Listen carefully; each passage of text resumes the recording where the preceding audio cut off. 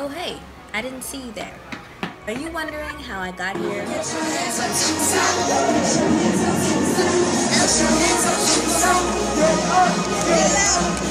Well, let's go a few years back. I didn't start out this successful. I started high school without that. Then I got this medal. I had never won a medal for anything in my life, so the fact that I could be awarded for being persuasive was a life changer. DECA has shown me that I can be somebody that makes a difference, even if it is in one person's life. DECA has proven to me that I can be more than just a regular high school student. DECA has shaped me into the person I am today. I am DECA because I am epic, limitless, and I own my future. DECA has changed my life in so many different ways, and I wouldn't want it any other way. These four years have passed way too quickly, but it has definitely been an experience I wouldn't change for the world.